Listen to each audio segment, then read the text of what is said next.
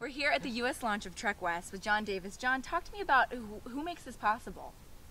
Trek West is an effort of the Western Wildway Network, a, a, growing network already at 22 organizations. By the end of this journey, we think it will be much bigger. All of these conservation partners are involved in helping figure out where I will travel, oh. with whom I will travel, what stories I'll tell, the critical animals and plants to talk about. So this is very much a team effort. Again, Western Wildway Network is the, is the main entity that is sponsoring and pushing forward this, this trek. And so this is a group of nonprofits that have come together all with one cause and one mission, all supporting what you're doing. That's right. There's, and it's much more than what I'm doing. It, uh, the Western Wildway Network was formed to, to promote and, and eventually establish a Western Wildway, a, a wildlife corridor that spans the Sky Islands, Rocky Mountains, and the desert country around them.